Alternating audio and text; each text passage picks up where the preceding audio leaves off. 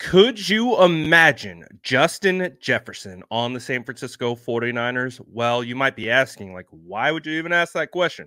He just signed a mega deal with the Vikings. Well, the reason why I'm bringing this up is because, according to Adam Schefter, the San Francisco 49ers reached out to the Minnesota Vikings before the draft to see if they could trade for Justin Jefferson. Now, I know there's been so many trade rumors swirling around the San Francisco 49ers regarding Brandon Aiyuk, Deebo Samuel, and I'm sure some other players that have not even been named, but that's typically how it goes every offseason. Just just because we haven't heard about it doesn't mean it's not happening.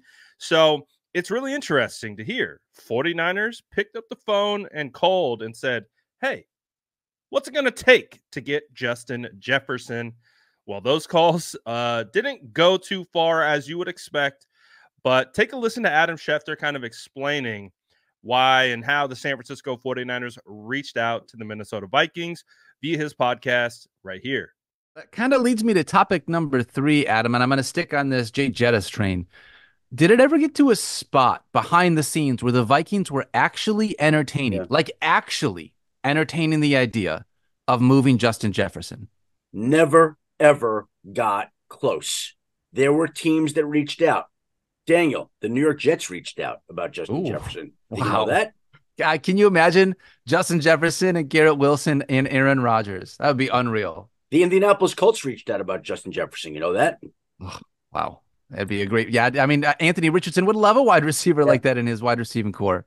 The 49ers reached out about Justin Jefferson. You know that? Okay, they're just getting greedy at this point, Adam. They certainly don't need another wide receiver. Well, this was all before the draft. And every team that called the, the Vikings before the draft was told we're not trading him.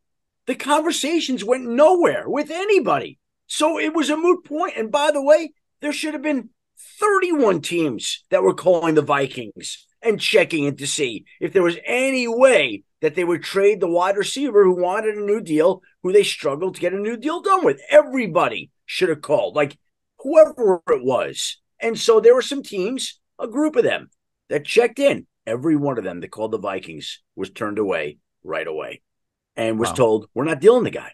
And so it never went anywhere because this was the day that Minnesota envisioned. You're not trading away a receiver who's done everything that Justin Jefferson has, who set all these marks that he has, who has a record amount of receiving yards in his first four years, who has 30 touchdowns, who is the offensive player of the year in 2022, who averages 98.3 yards per game, the most in NFL history for any career span. So they weren't trading him. It's a moot point. It doesn't matter who called, they weren't trading him.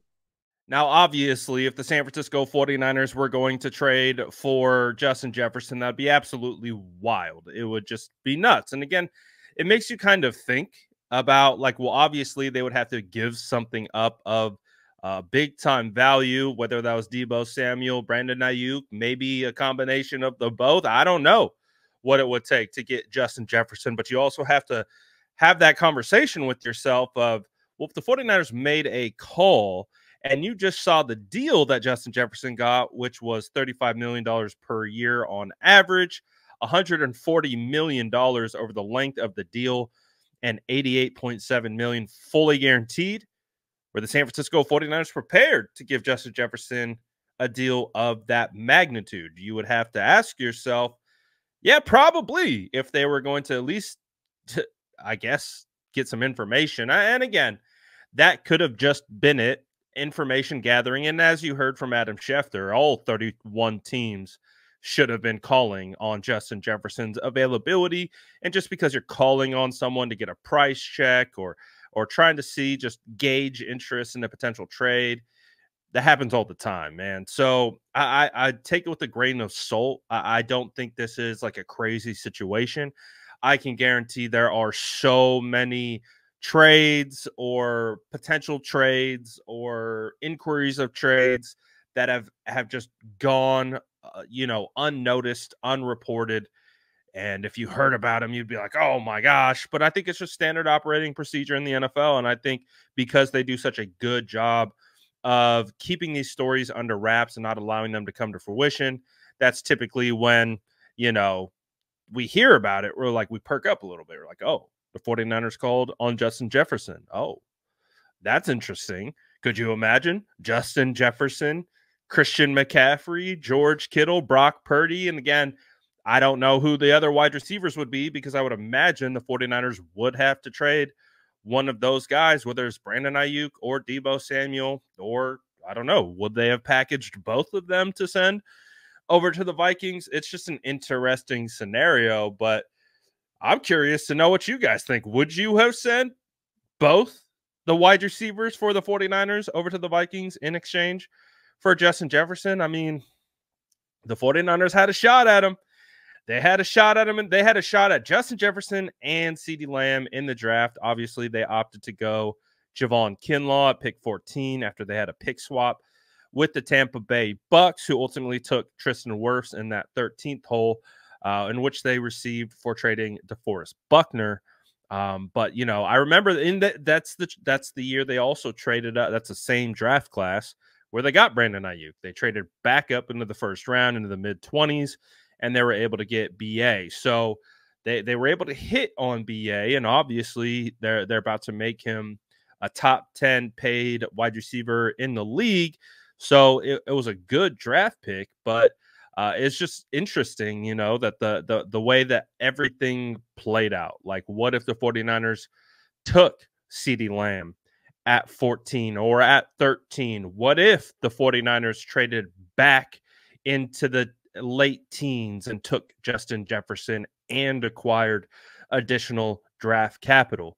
Uh, I told you guys in my very final mock draft um, of that particular year, my final mock had me trading back into the, I think, pick 20 and selecting Justin Jefferson because I was a huge Justin Jefferson guy uh, coming out of LSU. So there are, you know, what ifs with this situation.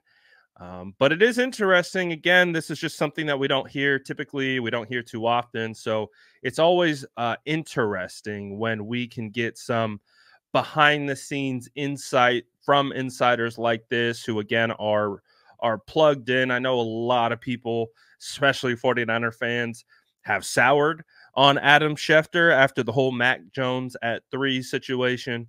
Um, but uh, so I can already imagine some of the comments already being like, "Oh, we don't we don't listen to Adam Schefter around these parts." Uh, but again, it doesn't change the fact that he is plugged in and and he hears all these types of things because that's what his job is. His job is to find these nuggets and report them. And so he brought it up in his podcast, and it just it, it makes you think: what if? What if? What could have been? Uh, the butterfly effects of the NFL are pretty crazy. We just talked about yesterday on the channel about how the Washington Commanders sniped the 49ers from drafting Ben Sinnott. That led to the 49ers drafting Renardo Green. What is that butterfly effect going to look like three, four, five years down the road? Always, always an interesting conversation when talking about the NFL. But let me know what you guys think about this whole situation with Justin Jefferson. Let me know in the comments below. And as always, make sure to like and subscribe for more updates.